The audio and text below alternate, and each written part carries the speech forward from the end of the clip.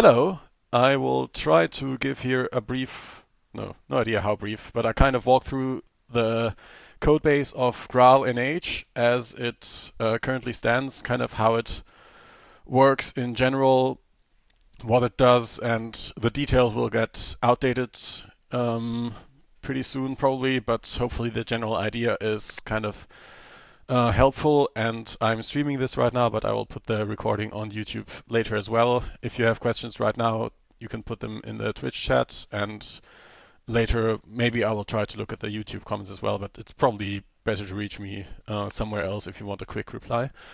Um, but if you wanted to try out this project yourself, you would clone it from GitHub and then export some uh, a suitable Java home like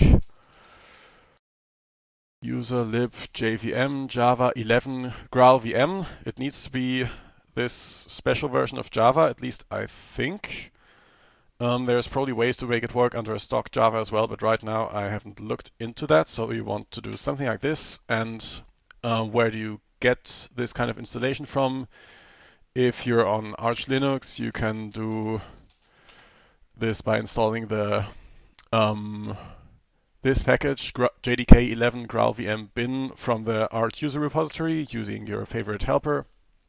If you're on any other operating system, then I think some kind of official or unofficial package or just downloading the JDK from Oracle directly, something like that should work to give you this uh, graalvm image.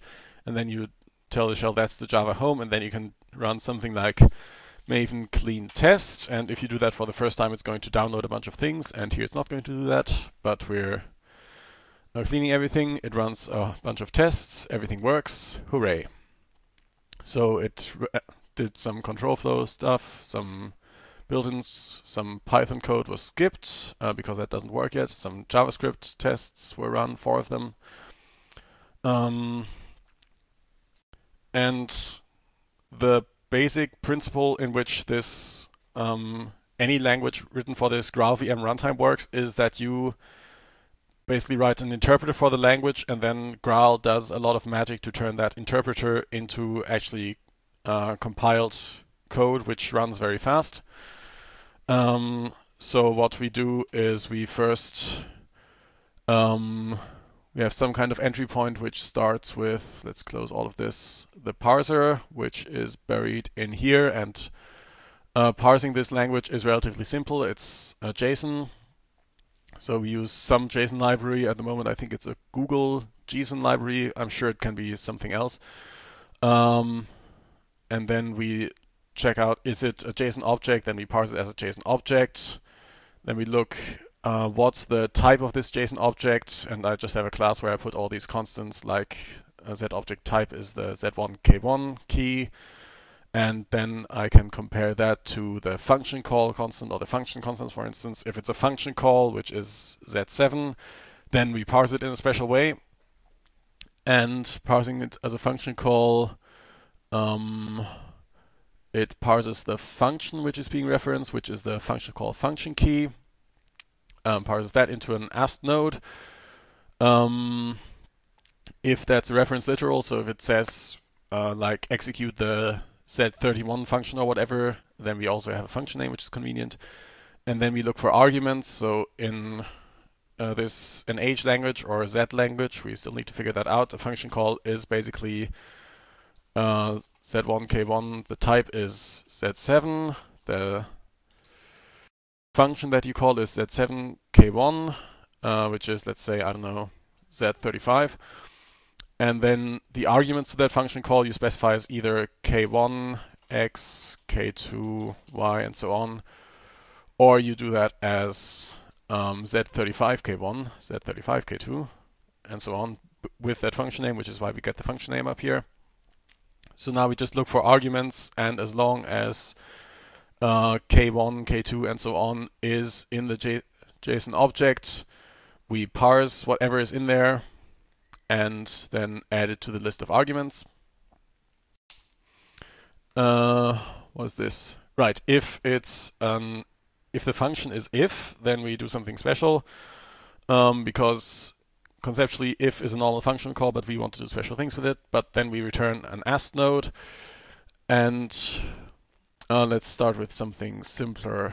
Uh, if we parse a list literal, for instance, if we have parse what's a JSON array, then we return a list literal node, which contains a bunch of child ast nodes, uh, which we parse recursively. It's a pretty simple parser so far. And then the node looks like this. It extends a basic node class, which I think extends an even more basic node class. Yeah, so we have z node, and then there's node up here. And it has a bunch of children nodes, and this children annotation tells the uh, framework, which is called Truffle, that these are child nodes of our node, and I'm not sure what consequences that has, but it's important for some reason, and if you forget this, then you will get uh, strange errors, and eventually you just learn that some kinds of error message mean that you forgot a child or children um, annotation somewhere. And the important thing is that it needs to have an execute function, or in this case, we actually have an execute that list function. I'm not sure if we need that. Maybe I'll get rid of it eventually. Uh, and the important part is that we have all of our child nodes. Uh, we build an array with the correct results. We execute each child node. So just like the execute function we are currently running, we execute all the child nodes as well the virtual frame in theory tells us where um, argument references can come from and so on. Uh, we put all that in the array, and then because the linked list representation we use at runtime is no, the list representation we use at runtime is a linked list. We uh, then go backwards, starting with the nil singleton, uh, build new these kind of uh, cons nodes like in a Lisp list, and then we return this. So we have this kind of ast node class, and then corresponding to that, we also have a runtime object, which is this zlist. And those are kind of the two general kinds of objects, and right now they're here in two packages, and this font size is probably too small to be readable. Um, we have one package with a bunch of nodes. We have one package with a bunch of, well, less of them, but some runtime objects. There's a list in there. Um, we have a parser package with, exactly one class in it and some built-ins, which I guess we will get to later.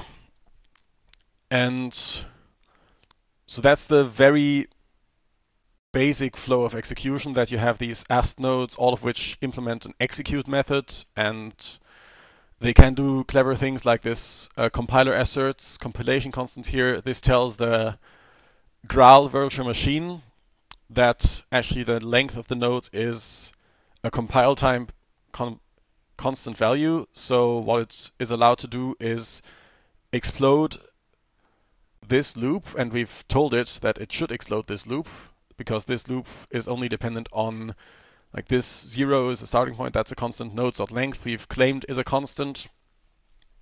And so it can unroll this loop or they call the annotation explode loop instead of unroll loop for some reason, and then you get more efficient code at runtime. Uh, and down here, it's the same thing. And I think, no, there's no good example for this right here. So I should maybe say a few words about uh, Graal, VM, and Truffle. So Truffle is the kind of library or all the APIs that we use. This um, node class here comes from Truffle. This um, children annotation comes from Truffle. I think this explode loop comes from Truffle as well. Yeah.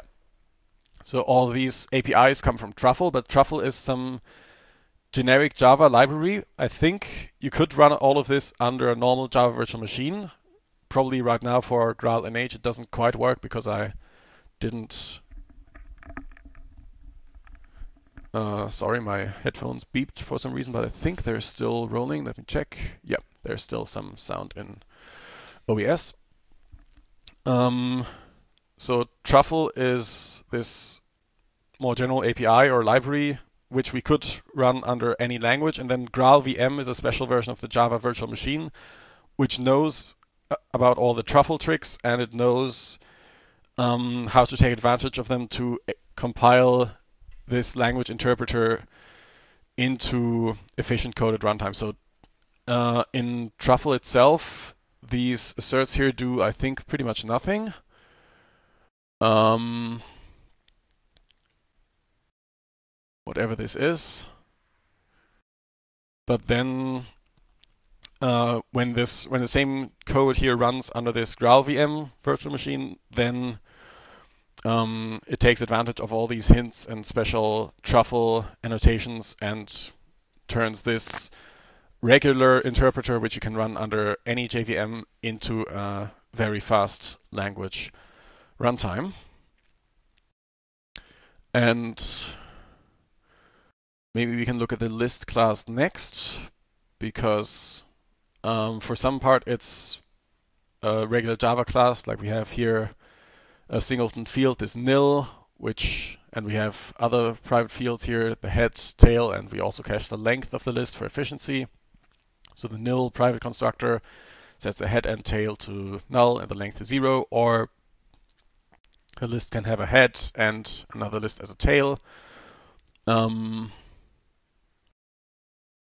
but what it also does is this export message business down here, which is another truffle thing. So we say that this class exports this interop library, and then it exports all these messages which belong to that library. And this lets code from other languages which are implemented using GraalVM work with this object. So because I implement these messages uh, has array elements, yes, it so it's treated like an array for other languages. We can read an array element with the given index. Um, if the index is zero, we return the head element. Otherwise, we read the index minus one element of the tail. So we go through. Um, we can get the array size, which is the length, which is why we cache the length because we need it all the time, even though we could in theory get it just from um, the. We could do something like uh, if tail equals null, then the length is zero. Otherwise, 1 plus tail get array size. This would work just as well. It would just take longer and for efficiency we want to cache the length. Um, we also export a message which is unrelated to all the array stuff, which is this is null. Because right now I'm saying that this nil singleton, which forms the end of this linked list, is also equivalent to a null object in other languages like the null in Java or the none in Python and so on. I'm not yet sure if this is actually correct because there's also, I think there's a to-do comment here. Uh, or is it here? Oops. Yeah, it's here. So Z Z13 is the nil value, but eneyj also has Z23, which is the nothing value, and I'm not yet sure what the difference is. Um, I think nothing is mainly the opposite of everything, which is uh, everything is the list of all the objects that are defined, I think. So basically everything is the equivalent of doing abstract text, nh, data of this. It gives you the list of all of these IDs, I think, is what everything does, and then nothing is the opposite of that as far as I'm aware, but I'm not yet sure, and maybe it would be more correct to map this nothing to null instead of nil, or to say that both of them are nil. I think there are some um, Graal truffle languages which have more than one kind of null-ish value, and then then they say all of these values can look like null to other languages. But basically, the upshot of all this export message business is that if I run some um, Python code and I tell that Python code to evaluate a snippet in the in this eneyj language or z language, then when that returns a list, it looks like a native list to Python and it can be printed like a native list, uh, which is pretty nice. Okay, Danny isn't sure if uh, what the difference between null and nothing is, I guess. Uh, we'll find out about that, I'm sure. It's still all in development. Uh, so that's the list object. And since we've talked about export library, maybe we can look at the function next. Um, oops. I didn't plan to make any changes there, so let me just undo whatever I did. Oh yeah, that. Okay, Z30 nil is meant to be only the end of a Z10 list. Okay, Z23 nothing is meant to be more like null or undefined. Then I should uh, write that down and fix it. Thank you. Then he says Z30 nil is for lists and Z is more like null. Updates accordingly. I like that because otherwise um, you don't have there's no difference between null and the empty list, which is kind of which is how it is in Lisp, but it's kind of weird in other languages. And I think with the Python interop, I already noticed that this looked strange. So I will update this later, or maybe I'll do it in the stream and then we can see how that works. But let's look at functions for a little bit. Um, okay. There we go. So a function is created when you evaluate a function node, and in eneyj, a function doesn't just have one function body or something like that. It has a list of implementations, or I think um, there's some uh, discussion still about that, if it should be that the function lists its implementations or that the implementations are more independent and they can say, I belong to this function, but the function doesn't have to know about all of its implementations or something like that. But right now, at least the way I invented it here, is that a function directly has a list of implementations, which you get out of implementation nodes. And then it has an index into which implementation should currently be used. And if you do it the smart way, then you've probably profiled all the functions and uh, you know which one is fastest and you use that. And I think that's what the um, standard eneyj does. And I don't yet have a good name for that either because it's just called eneyj, but eneyj is also kind of the language that I'm implementing. So sometimes I say standard eneyj or upstream eneyj or the JavaScript eneyj, something like that. So that eneyj does some clever profiling of all the functions, all the implementations uh, which is something you have to set up after you clone the repository for the first time. And I don't have anything like that yet because I only have like a handful of functions that work at all. So right now the implementation starts at zero.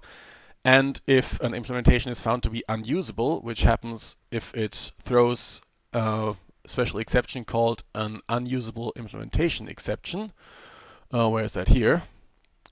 If the exception if the implementation throws this to say, hey, I can't actually be used, for instance, because it's a code implementation in Python or some other language that we don't support yet, then we go ahead to the next implementation and we keep a list of all the implementations that can't be used yet. And we just hope that every function has at least one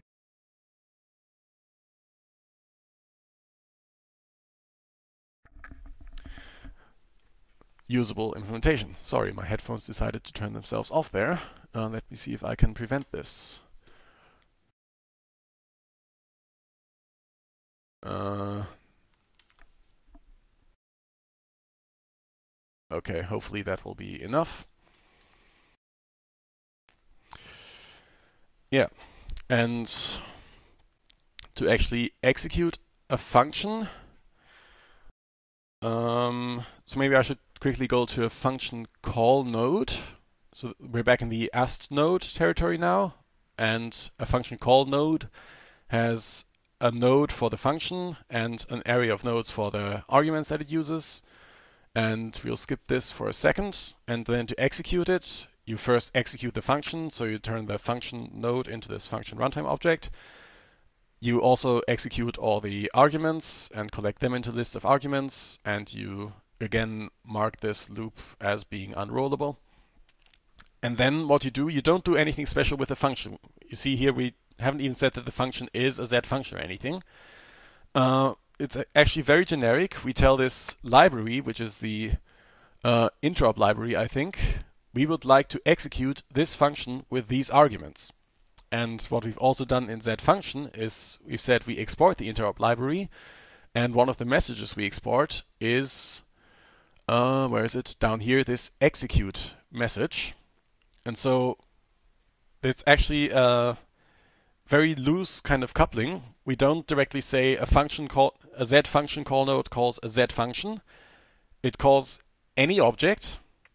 And in practice right now, that's going to be a z function at runtime, but it could also be any other runtime value. It could be a function from another language.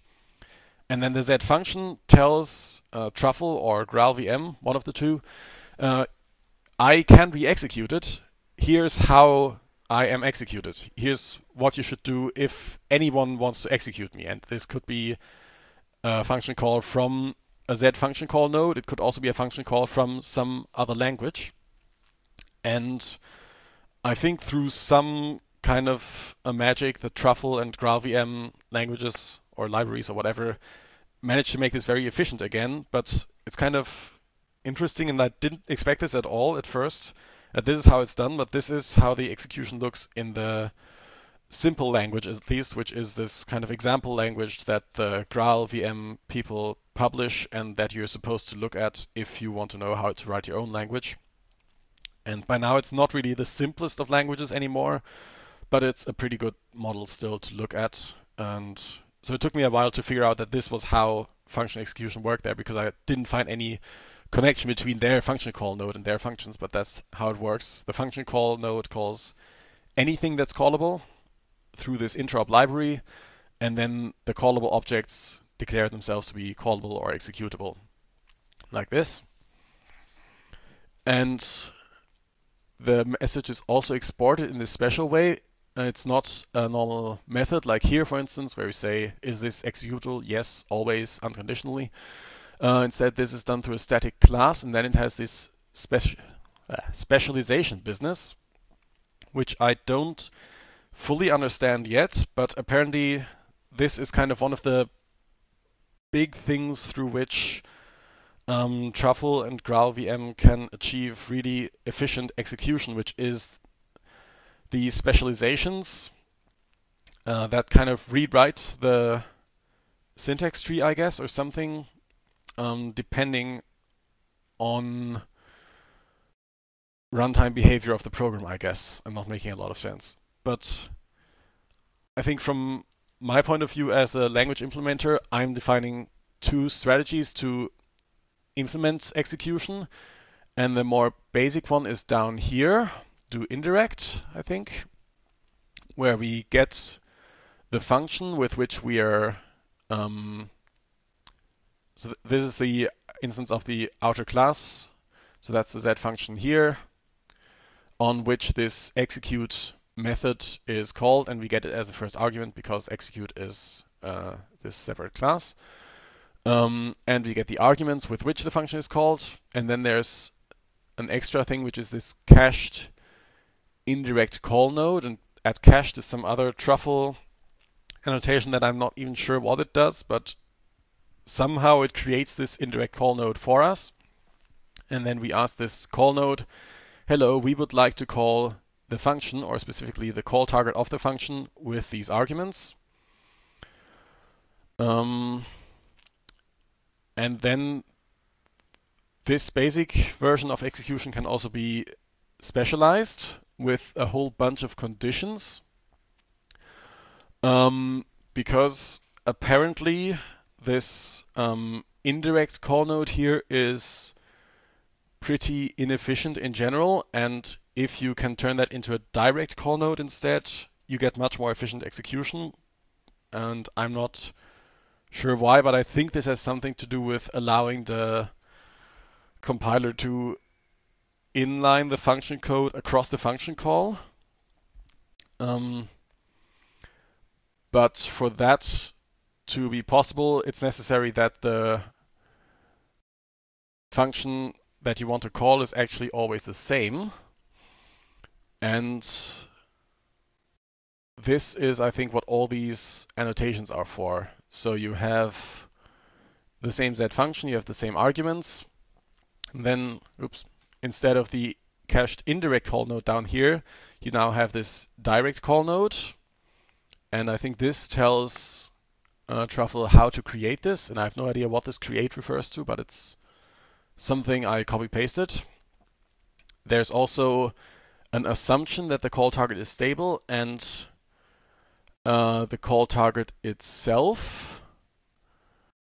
Um, and the call target is what the function has. So each uh, each implementation corresponds to one call target, and you can see the way we get the call target is we get the current implementation, and then we get the call target from that. Um, and as long as the call target is the same, we can reuse this direct call node or something. And uh, it's probably really obvious that I don't fully understand this, but this assumption is also part of the picture because apparently assumptions are how you transfer from optimized code back to unoptimized code, how you de-optimize when necessary. And I first heard of this like general de-optimization concept uh, years ago, and it blew my mind that this is what Java does, and I assume probably other runtimes as well. Like, uh, you assume that a call to a certain method is always going to the same method because the class that you're calling it on doesn't have any subclasses. And so you don't need to do this virtual function lookup of finding out which method exactly am I actually calling. And then if any class gets loaded, um, if any subclass gets loaded, which also defines this method, then you have to de-optimize because you assumed that there weren't any um, other versions of this method that you had to look for. And now that this assumption is no longer valid, you have to de-optimize your code and actually do this lookup in the function table of the object you're calling or something like that.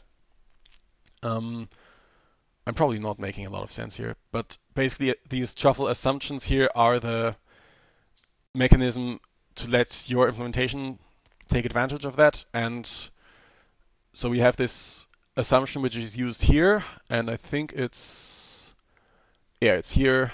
The call target is stable assumption is used for this specialization, which Truffle does something with. And where does this assumption come from? It comes from the call target stable assumption. And what we have to do is if we ever change the implementation like here, if we set a different implementation index, then we have to invalidate this assumption. And this lets Truffle or GraalVM, I'm not sure which one, uh, lets, lets them optimize this function call down here as if it's always going to go to the same implementation of this function. And it's always going to be a direct call. And you can inline the code across this function call boundary and everything. And if this is ever not the case, um, then we as a language implementation have to make sure that we don't change that invariant without also uh, invalidating this assumption, which we do here. And when this assumption is invalidated, then it's um, Truffle or GraalVM's responsibility to keep track of all the optimizations that were based on this assumption, like this execute down here where we said this relies on that assumption, and to um, de-optimize them or despecialize them or something. And that's basically my very confused overview of this uh, specialization business, which I still don't fully understand, but which as far as I'm aware, is extremely critical to um, to the performance of these languages that you implement. And as far as I understand, it's uh, hugely more convenient to do it like this with these annotations than doing the equivalent thing by hand. You can basically define a bunch of specializations for an operation um, and some more or less magic from Truffle will take care that um, the best specialization is being used, or if necessary, it will fall back to a different specialization, and so on. But I think I've talked enough about this area of the code that I don't understand. Sorry. Maybe I should try talking about something that I do understand. Um, maybe where these implementations come from. Um, yeah, so a function node has a bunch of implementation nodes as children, and the execution is very straightforward. Oops. Um, loop through all the implementations, uh, execute them, and return a function with that array of implementations. And the implementations can be several different kinds of implementation, which is somewhere in the JSON parser. So the parser checks the type of the JSON object, and it can be uh, built-in or it can be a code implementation. And the default or the third kind of implementation, as far as I know, that eneyj has, which is um, a regular function call I haven't implemented yet, um, hopefully soon. But a built-in is an implementation that basically you as the uh, so GraalEneyj or the upstream eneyj or whatever, you know how to implement this, and um, so the function definition just has kind of a reminder, hey, I want to use a built-in here, you know how to execute this function, right? And right now there's two built-ins, there's the value built-in and then there's the head built-in. Value gives you kind of the value version of an object. So for instance, if your object has a permanent ID and it has labels and descriptions, then it uh, throws all of that away and gives you the more kind of pure value version. And right in eneyj in GraalEneyj, the value value built in doesn't do very much. If if the value is a string, uh, so a val it's a value or kind of JSON object of type string, then it just returns the value of the string as a string, as a Java plain string instead of this uh, Z object class. And then it doesn't do anything else yet. So what should go here is this uh, throwing away of the ID and the labels and so on. And I haven't done that yet. And I need to do that. And the head built in is um, should give you the first element of a list. Uh, so this head is should what it should return. And we actually do that with the interop library. So the that list implements this interop protocol and says to read the indexed element, you return, if the index is zero, you return the head, otherwise you go through the tail, so you can read an array element like that. And the head built in asks the interop library for the zeroth element of the value. So this can actually be any array-like value. So this built-in will work the same way also for a Java array or a Python list if it's passed in here. That said, I'm sure we could use this as specialization thing for something like um, add specialization public object get head of offset list of offset list value and we still have a uh, no in that case we wouldn't need an interop library we could just return value dot head. Okay, it's not public, but get head.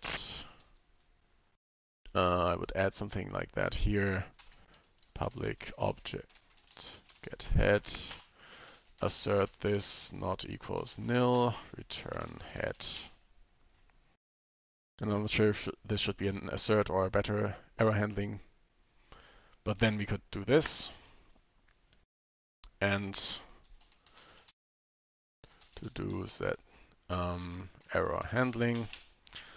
And I would probably need to add a few more um, bits here. Um, but the basic idea of this specialization business is that now Truffle could automatically call this method, which might be more efficient if the value is a Z list, and if it's found at runtime not to be a Z list, then it can fall back to this more general implementation up here. And I'm just curious. Let me see if this works or not. It probably doesn't. Nope, it doesn't. Uh, cannot find symbol. Aha, specialization is not reachable. It is shadowed by... Is the order significant?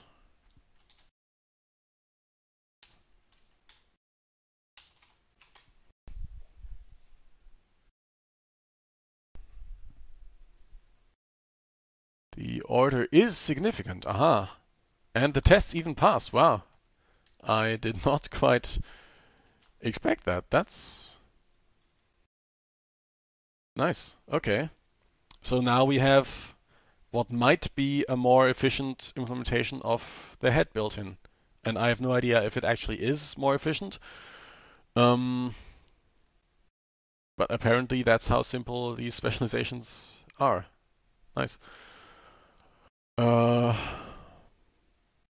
yeah, I, I, was expecting to have to write something like replaces, is I think, yeah, replaces get head of set list is something you can write, and I'm not sure what it means, but apparently right now, at least, it's simply not necessary.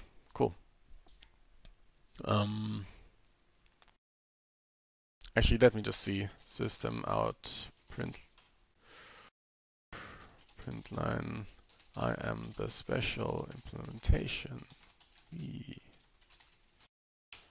Because I'm not sure if it's actually being used or not. Let's run the tests again.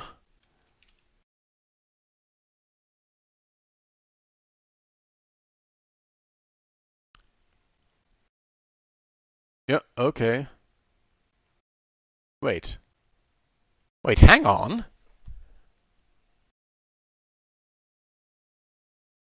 Ex excuse me? I have a to-do error handling here, and I have a test for the error behavior, so... What? Um... So the test is here.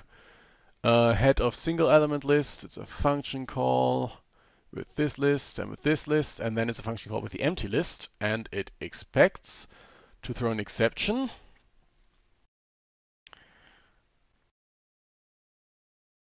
I am confused how this test still passes when the head built-in implementation down here has this invalid array index exception and then throws a correct error exception and this just does nothing. Um, system error println e.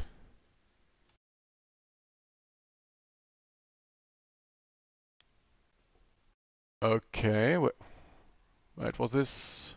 Oh yeah, this assertion. Right, because in the test, assertions are nil. Is that why? Let's see if I comment this out.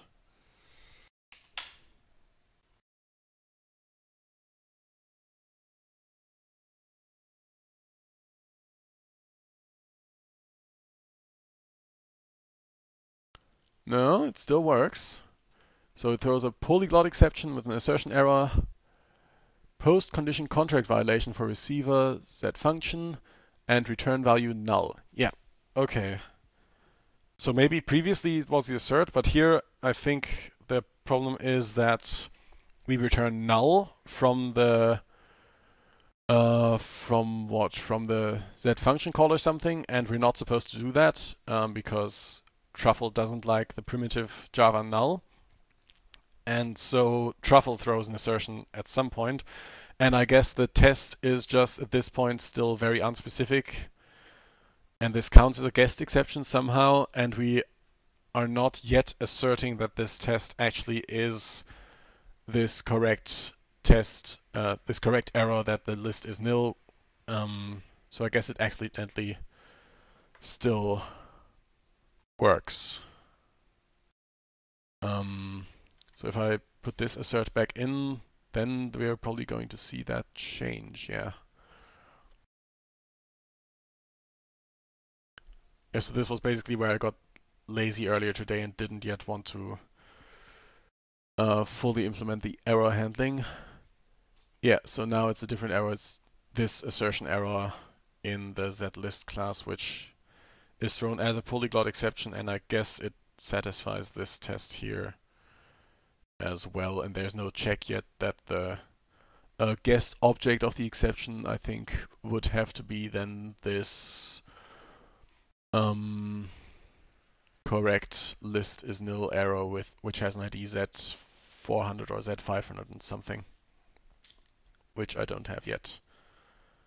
And I guess that's why the test is too unspecific to catch that this implementation doesn't do any error handling. Okay.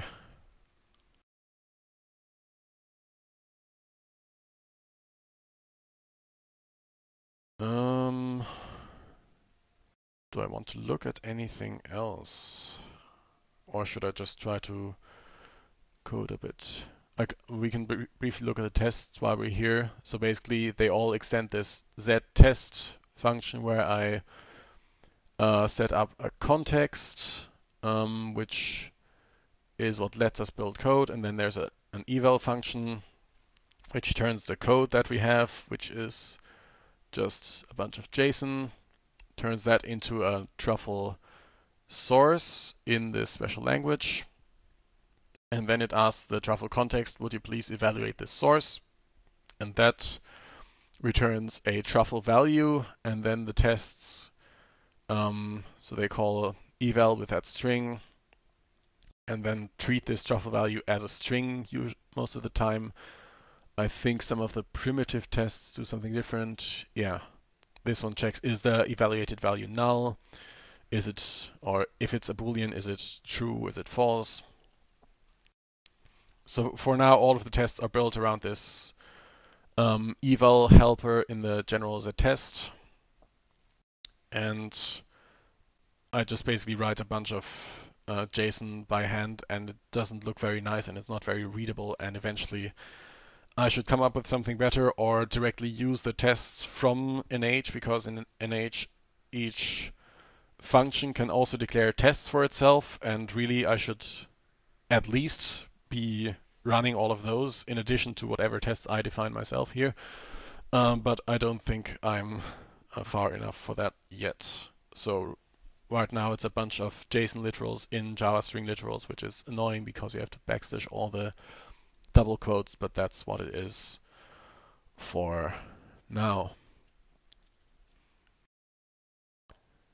And the code.js test, for instance, returns uh, functions at 8 with the implementations. It has exactly one implementation, um, which is code in the language JavaScript.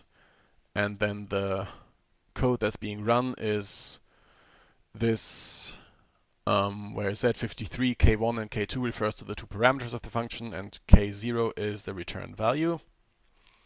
And then we call this implementation in a function call with some booleans and check that the result is the right one. And this um, code implementation is pretty fun to evaluate. So we, to get the call target for this, we build this string which we have into a new source segment in Truffle. And then we ask the context, which is basically the, the Z context is a container for various utility stuff, which we pass into our um, nodes. Where is it? No. Oh, we don't pass the context into our nodes at all. We look it up from wherever the ast node is being mounted. We ask the context, can you please parse this source code with the following parameter names so that it knows that if we later call this code with two arguments, then within the code, these two identifiers should refer to those arguments. And this gives us something called a call target, which is another special truffle type. And then we can call this call target and it's going to end up calling into the Graal.js implementation, which is a full JavaScript implementation in this truffle Graal VM world. And it's going to run all the code for us and return a value. And we actually have to tweak the code just a little bit um, by saying that we want to return K0 and also declare K0 up here. So we surround the real code with that. And then we get a value back out of that. And so far I've only tested this with booleans, which map pretty cleanly between JavaScript and uh, our own language. So that all works out pretty well. And we could do almost the same thing with Python, except the Graal Python implementation is not as advanced and it doesn't seem to support this argument names thing yet. So if we run any Graal Python code, it will just erase a, what is it called? I don't remember. A name error is what we will get because this Z53K1 parameter hasn't been defined. Um, oh, you can also see down here there's uh, what I called extremely obvious hard coding um, because this is the general implementation code node, but right now I've just hard coded the two parameter names Z53, K1 and K2 in there. And in reality, of course, uh, the parser would need to keep track which function does this implementation belong to, um, what is the name and how many parameters does it have, K1, K2 and so on. And then it would have to pass it through into here and then instead of hard coding the two names here, that would go there and then I could use this for every function. But right now it's very, very hard coded in here because that was enough to make the simple test pass. Um, and if the source code is something we don't support, like if the language is Python, we set the source to zero, uh, to null.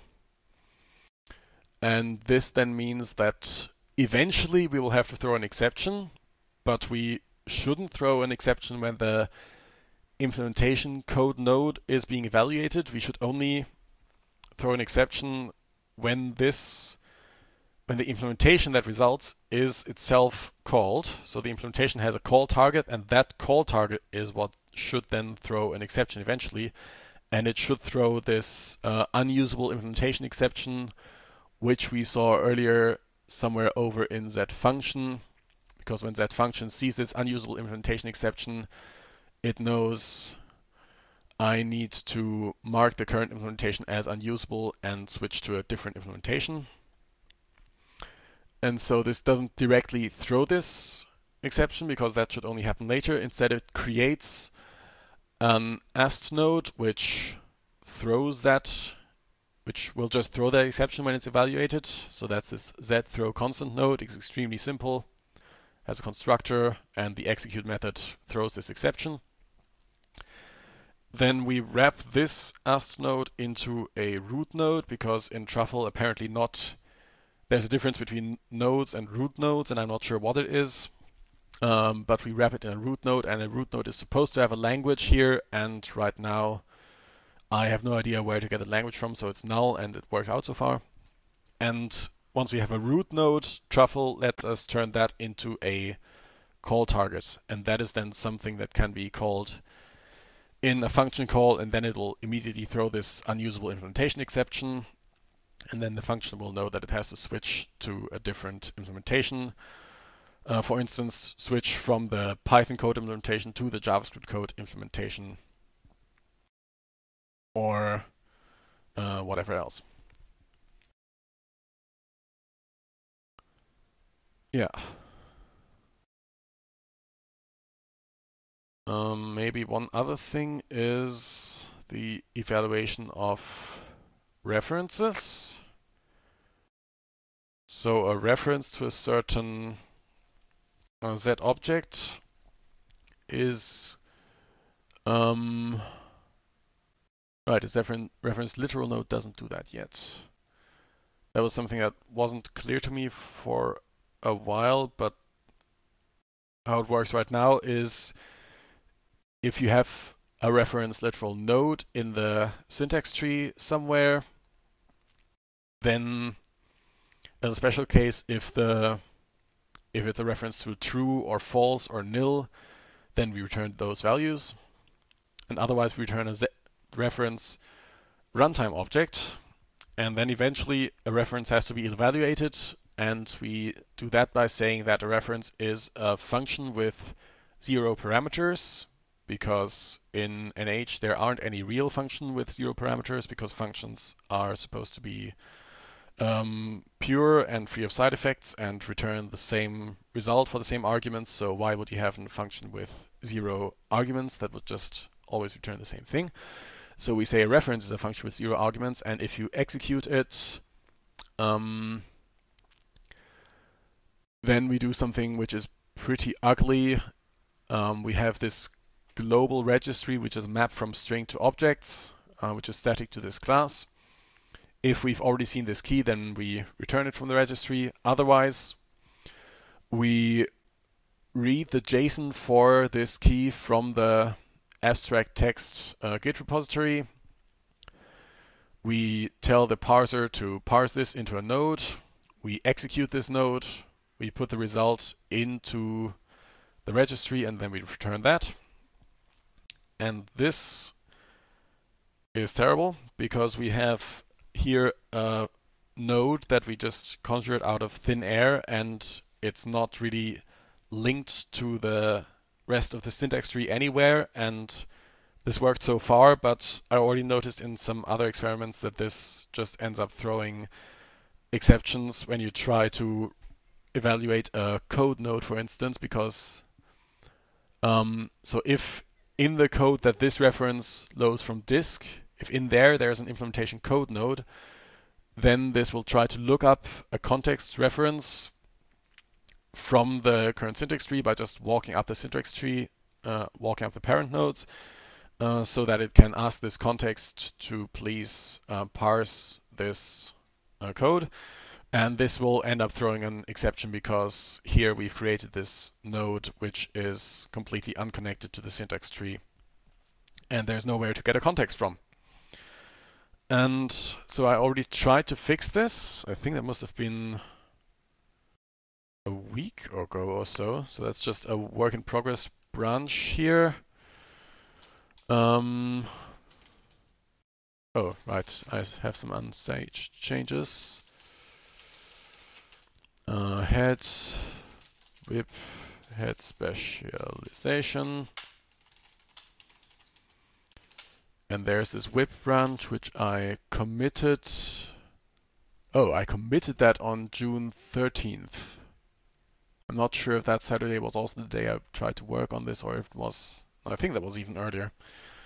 Um, but that was when I tried to implement this third type of implementation, which is a function call.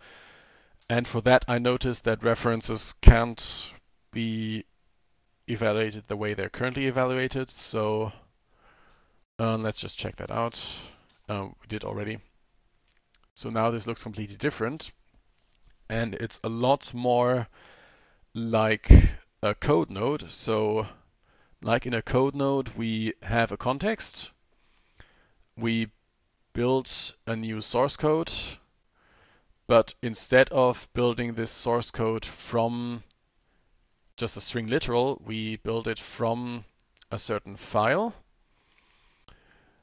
And then we ask the context, can you please parse this source code, which in this case is in our own language, into a call target. And then we immediately call the call target and put the result in the registry. And this context.getTruffle file function, um, come on, set context. There we go. This asks the environment, whatever this is, this is basically copy pasted from simple language. Uh, we would like to have an internal truffle file with this path, and right now this just assumes that somewhere below the current working directory, directly at the current working directory, you have this abstract text Git repository cloned, and then inside there eneyj data, the zid.json. That's the file we want to load. And that gets you a call target, which you call immediately, and then you have parsed the this value, put it in the registry, and then next time you can return that from the registry. The only issue with this is um, that I had to change the, what was it? I had to change some test. Uh, let me see in Git which one that was. Oh, Z test in general. Right, this had to change to add this allow IO. I hope this is more or less readable. Because if I don't do that, if we go to Z test and split this across a few more lines, if we comment this out,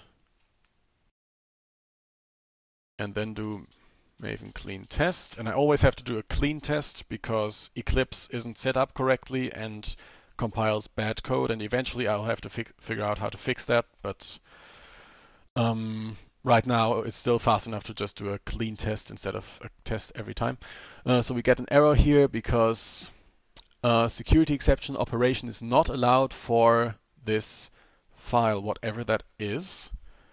And I don't understand why that is, because uh, this env already has these two functions. env.get, it has get internal truffle file and get public truffle file. And the difference is supposed to be that if I'm if the program in the in the guest language or the program that I'm evaluating gave me the path and I have no idea if it's a trusted path or anything, then I should use get public truffle file. And if I control the path myself, if it's a path into the standard library or something, then I'm supposed to use get internal truffle file. And I thought the difference was that between those was that one of these, uh, the internal truffle file, is going to be allowed even if the context is not marked to allow I/O. But apparently that's not the case because I, if I don't allow I/O, then I still get these security exceptions here that the operation is not allowed for this path. And that was basically where I gave up. What was that? Um, well, you saw the date on June 13th, so a week ago. That was where I gave up and committed that to a work in progress branch and uh, went to do something else. Um, Let's see if I can figure this out, maybe. If you have any questions, now would be a good time to ask. Um, otherwise, I'll just try to see if I can solve this puzzle. It almost sounds like the path here is significant. It sounds like um, maybe I have to register somewhere what my standard library paths look like.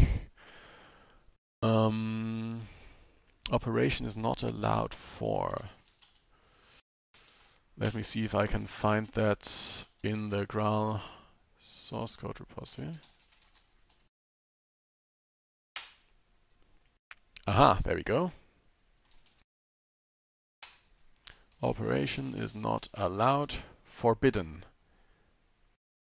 Ah, okay. So this forbids every path that's not null. And that is called here set current working directory. Okay, so that's a class that forbids everything, and that is the invalid file system. Then there's a denied IO file system, and that's it. Okay. So I guess for some reason I have a denied IO file system. Well, that makes sense, but Shouldn't I still be allowed to read the um, to read my own standard library anyways?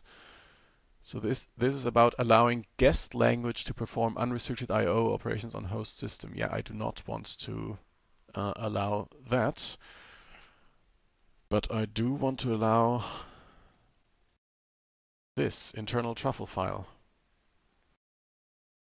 So that returns a truffle file from an internal file system context, and it asks the internal file system context file system to parse the path. And this is, is that being assigned anywhere? So this starts out as a file system context. Okay, that's the only assignment to it.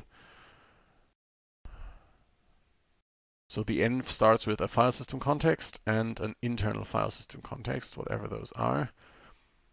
Well, they wrap a file system and an internal file system. So presumably I have to find out where this constructor is being called. env And that is that is instrumentation handler. I'm not convinced that's the right one. Um,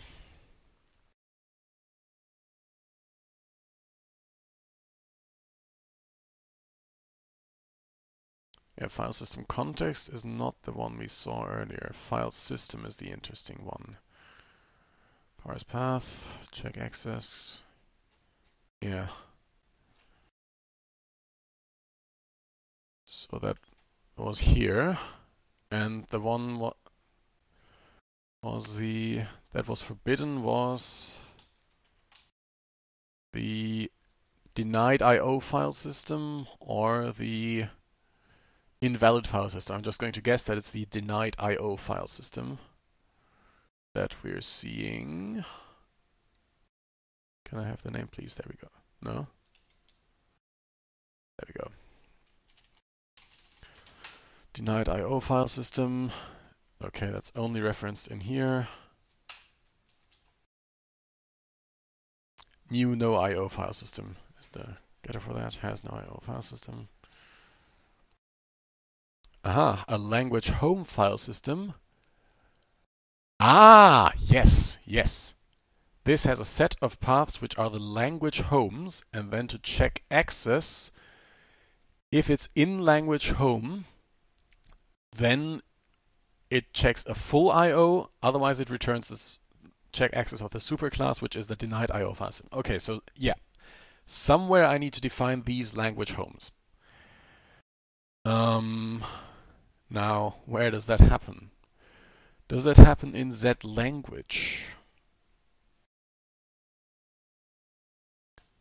Language, no.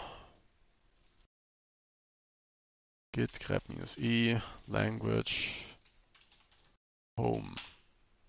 Ah, lots.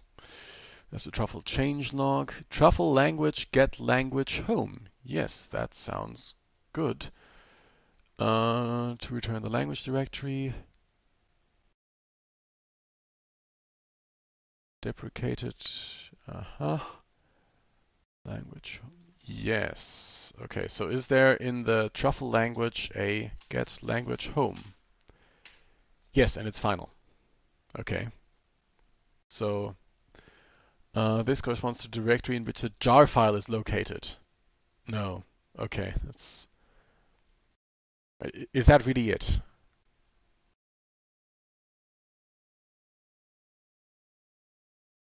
So what? Do I need to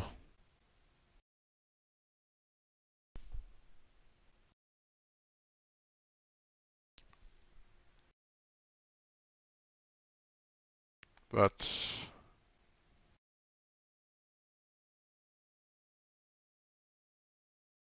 okay.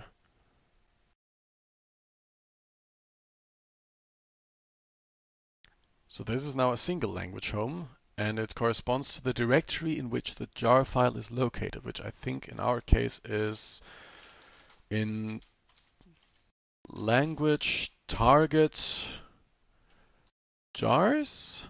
No, that's just truffle API.jar. Classes. There's a bunch of classes. Let me just do this. Um, at the time that we get a parse request, we system out print line the get language home, which is a string. Clean test. So then we should see what the language home looks like. And presumably it expects the standard library to be somewhere below that directory, which makes sense. Okay, it's null. It's null.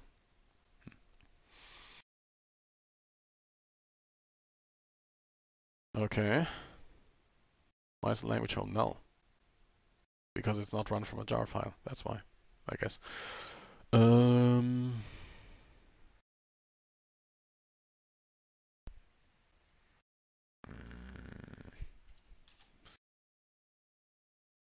is there any kind of documentation in this git grep? There's uh, truffle, truffle, truffle, truffle, truffle. Accessor source, file systems, language cache.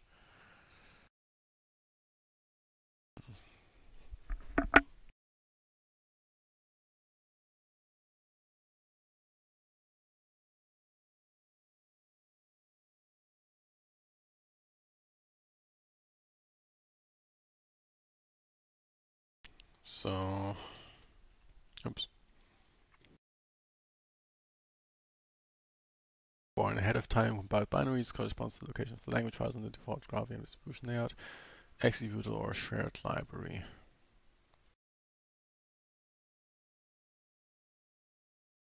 And this one is, that's an abstract function.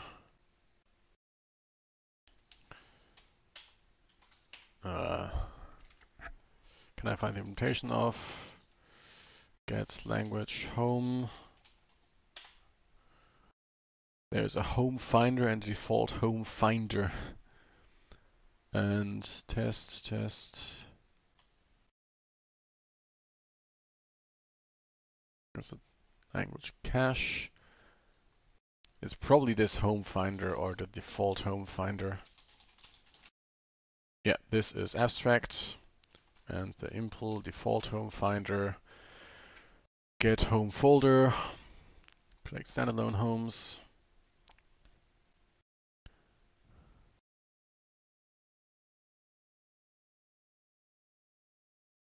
Uh-huh.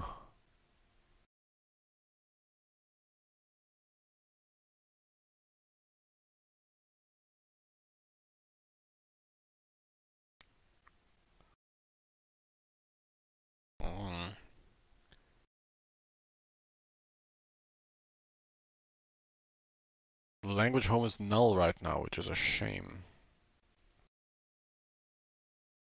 Does simple language fix this at all? Language home. No, language home doesn't occur in simple language. Uh, main java com. Let me just edit their SL language and do the exact same print in parse, which I assume is going to be called in simple languages test as well. Do a maven clean test. Might need to export Java home first, but let's see. Compile this simple language. Probably didn't need to clean there, but eh, too late. Okay, yeah, okay, the language home is null for simple language as well. So if I'm looking for any guidance, I need to look further because simple language does not have this problem. Let me just quickly close the window.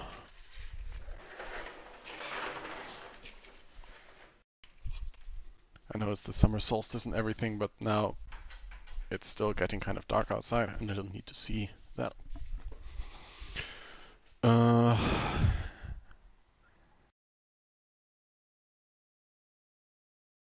so I guess simple language just doesn't have a standard library that it needs to load. Um, what was the function I'm calling? Get internal truffle file.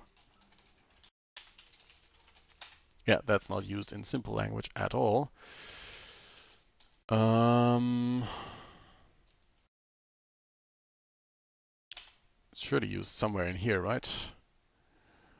Um, in the uh, Sulong is a bit too much for me. No, GraalJS is a separate Git repository.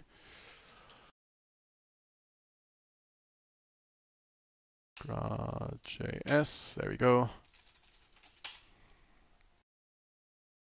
Oof, this takes ages. Okay, GraalJS doesn't have get internal truffle file. Graal Python. Aha, Graal Python has it in tests and in source code. Great. Also, I can delete this argument names branch because it did not get merged the pull request.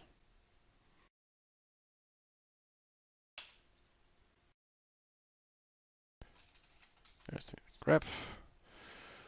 So the Python 3 core built-in prefix.suffix. Aha, language home even. Somewhere in the Python context. Um,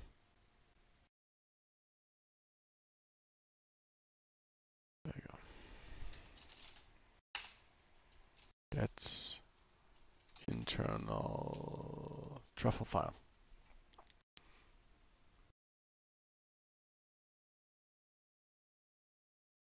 What does this do? So this is initialize home and prefix paths. Um, so it does a bunch of searching. It catches the security exception and ignores it. I like that. Uh, if it has a home, then blah, blah, blah. Okay, so in this case, it's just possible for the home to be null and they deal with it somehow.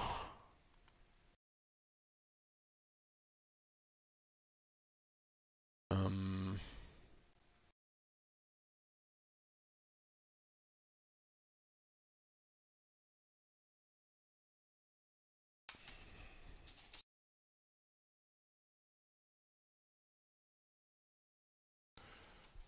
have a home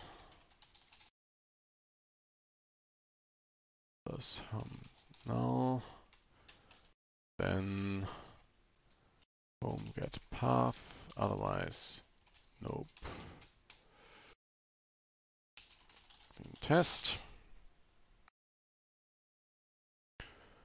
Oh.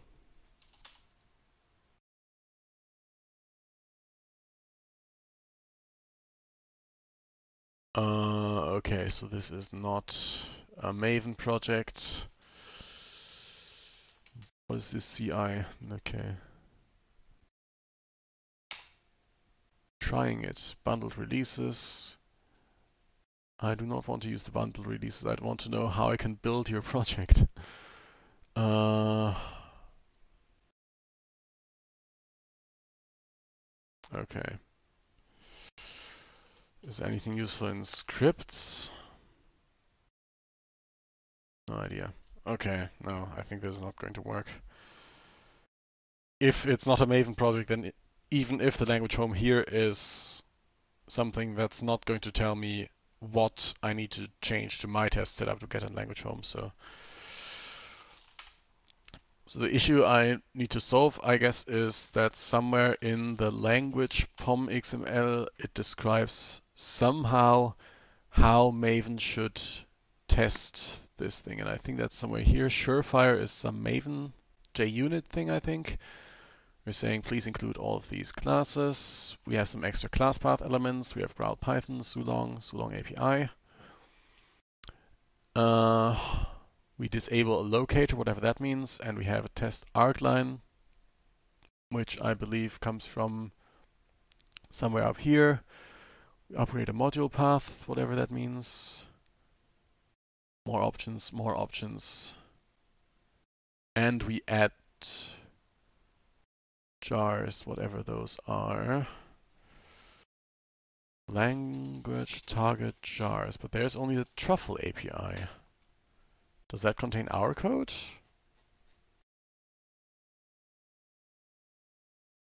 No, it doesn't. Find language target, let's name jar. That's the only jar in there. Okay, so our own code is not loaded as a jar as far as I can tell.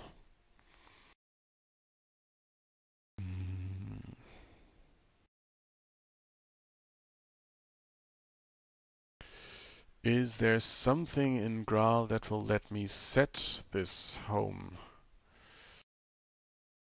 So there's the set get language home. If I search that for set, the field is reset. Set language home property. That is probably not what I want. Then there's a bunch of reset and there's some loud Motorcycle outside, reset, reset, reset, use truffle, entry set. This is a set in the mathematical sense, not something that we can set to a different value, reset, that's it. No. I suspect there's no way to override the language home. Uh, which is annoying. What is this set language home property? It's a private method. Oh no, hello. Aha!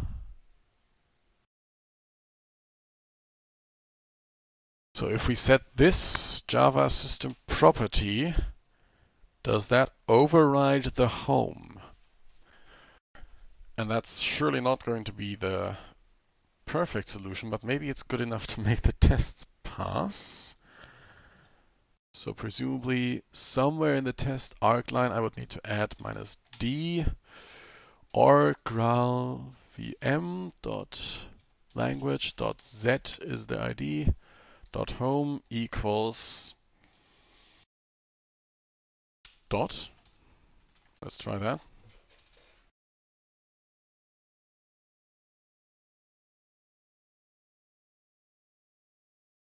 Aha! Yes.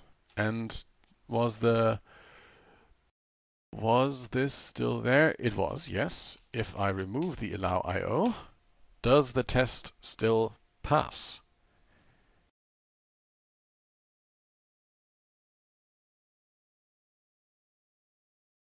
No. Damn it. Damn it. Uh, so the language home is, so we're still printing that, and it is now dot and not null. Maybe, I don't know, it needs to be abstract text. Was it abstract text slash, yeah. Maybe it needs to be that.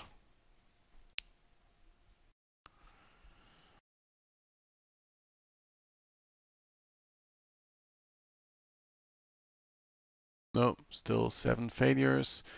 Operation is not allowed for maybe it needs to be an absolute path. Um, project dot um, well, I just need to know whatever the Maven environment variable for the project working directory or something is. Maven project directory.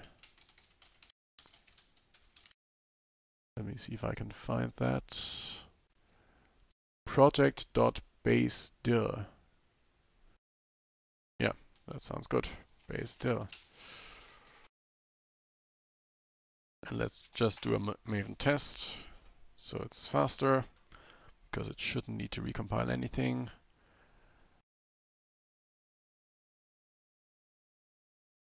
Hello. So this all of a sudden turned into an absolute path, whereas up here it was still a relative path.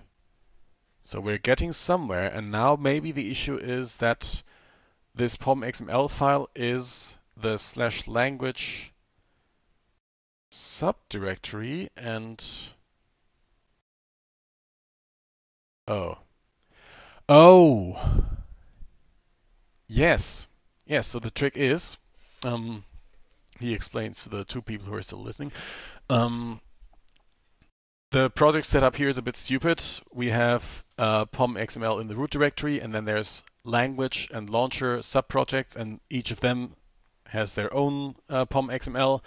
And the vast majority of the time, the language POM XML is the one we care about. But the thing is that this abstract text here is a Git submodule, and then so that the tests work when they run from inside the language directory, in language, we have a symbolic link, abstract text, which links to the other abstract text. So if you just read, uh, if you're in language, uh, because when Maven runs this POM XML, it changes the current working directory there, I think. And if you're in there and read, um, uh, what is it? Um, I don't remember the command, but if I read abstract text slash eneyj data z1.json,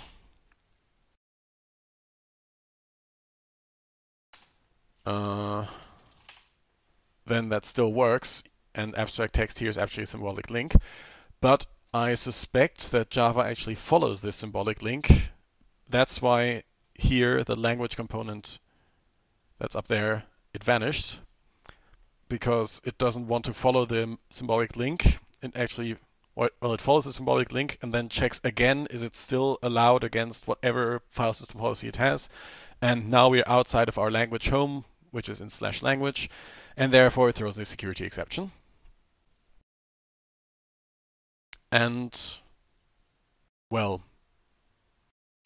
uh, so that suggests if I add slash dot dot here, it's going to work. No? Um, probably because dot dot there doesn't work. Uh, I have a better idea anyways, which is unlink the abstract text here, move abstract text into language, and then link language abstract text here.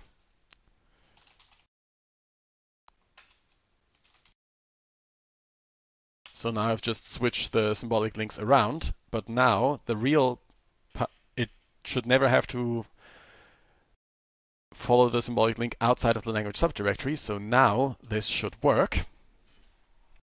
And it's a very stupid solution, but ah, yes, it works. okay. And if I use the um,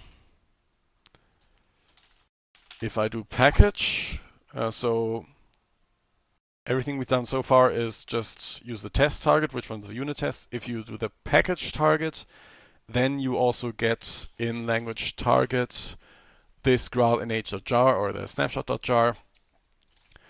And that is used in this Z launcher script. Um, where is it? Here. And after, so after you do maven package, you can also use this Z script and put there some some JSON like this.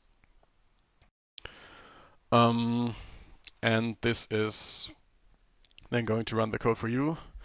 So let me just try if, uh, what was all of this about? Uh, we wanted a Z1K1, the type is a Z7 function call, the Z7 K1 function we want to call is Z36, I believe, and the K1 is Z28, which is the project name. So we call the value built in off the project name value, which, ouch. Um, okay, I made a typo in the JSON. That's, that's all. Rip. Z28. Mm.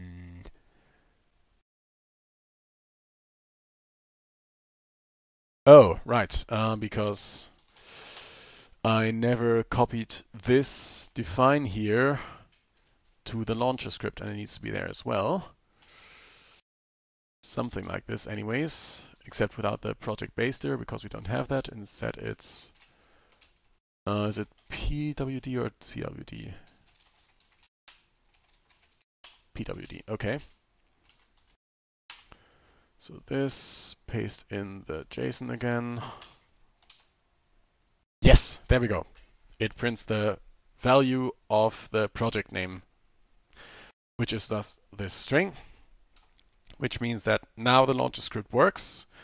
Um, you can override this language home directory with this define, and that's good enough for now, which means I can remove the allow IO again, remove this comment, remove this, remove this, let Eclipse collapse all of that into one line again, remove that helpful print from that language as well.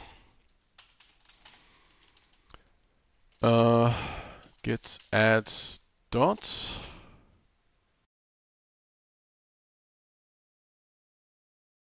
Whatever this T is. So what was the difference since the work in progress commit?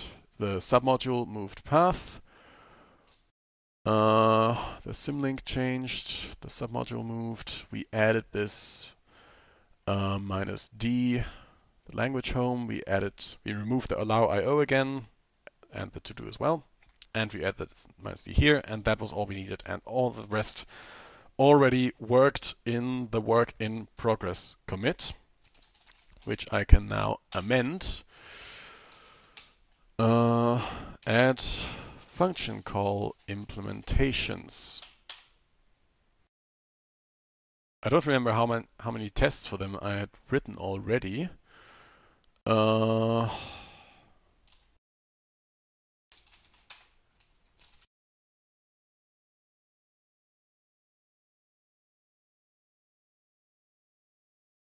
oh, and also this enable sessions can go away again. I don't need that. Well, let's mark this still as work in progress. Um, not really tested yet, but seems to work reasonably well. Though we need to set the language home and the language and the source files we load need to below the language home and we're not allowed to hide that behind symlinks either. So we need to swap the abstract text submodule module and symlink so that the real abstract text data is properly below the language below language, which is the language home when running the unit tests see the minus d in the language pom.xml.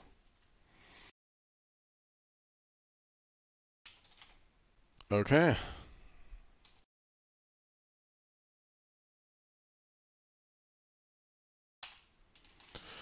So that doesn't do that much. It updates the POM XML here to add this minus D. It adds the implementation function call node, which creates a call target for the current node you have. Um, and there's just a bit more um, truffle trickery here, which is that we say this call target is, it's not actually final in the Java sense, but it's final at compilation time. And if we ever need to reassign it, which you only need to do once here, then we tell the compiler, if you're currently in compiled code, then step out back into interpret uh, interpreter mode and invalidates all the I'm not sure exactly which assumptions, but invalidates something, and that includes this compilation final, um, because now we're actually assigning to it, and then we create this call target, and then we return it. And because we've marked this as a compilation final, I assume that in compiled code, this if here never runs. So this should only run in interpreted mode, I assume. And basically in in compiled mode, this get call target whole function here should be as cheap as it can possibly be. Um, yeah, what else was in there?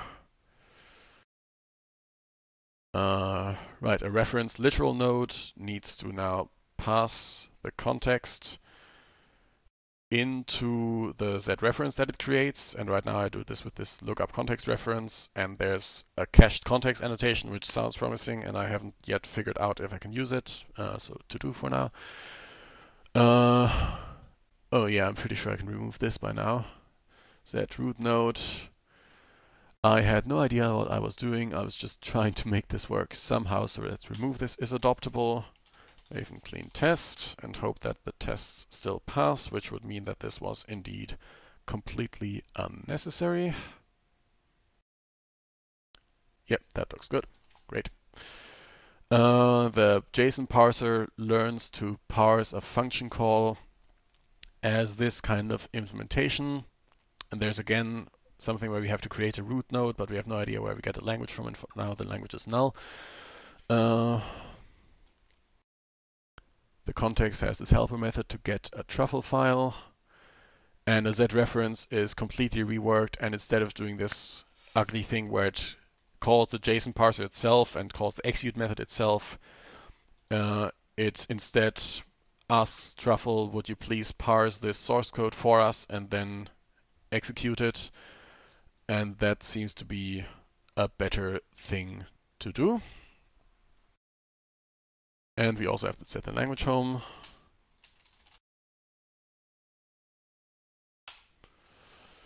And now one thing that should be possible is to go into the code.js test and instead of using this fake NAND here, uh, which only has a JS implementation, we should be able to return the real, uh, what is it, Z53 I believe? Z54 is true, 55 is false, 53 is an NAND.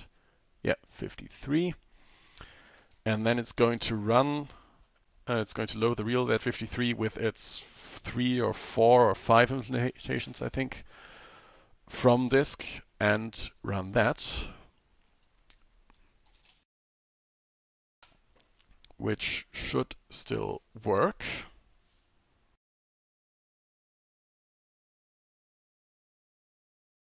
No, message not supported. Context reference was used from an engine that is currently not entered. Context reference must not be shared between multiple engine instances. I see.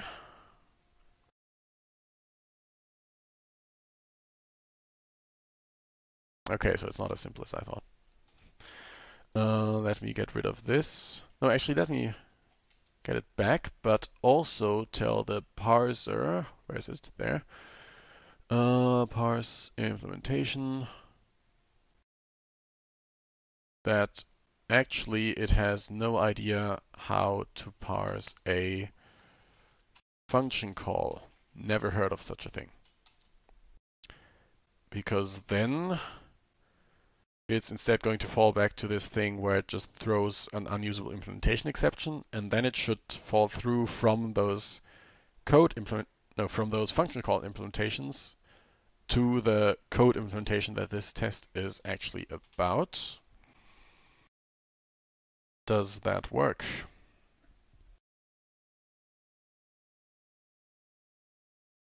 It does not but it's a different error. Invalid sharing of runtime values in AST node detected. Stack trace and the full output Maven helpfully hides from us and instead we have to go to language, target, surefire reports, de, Lucas Werkmeister, test, code, J, JS test. There we go. Exclusive JS. Okay, long stack trace, long stack trace, long stack trace. Even more stack traces. Gee.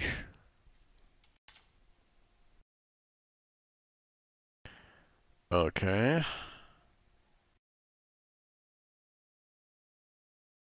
So it's not fully working yet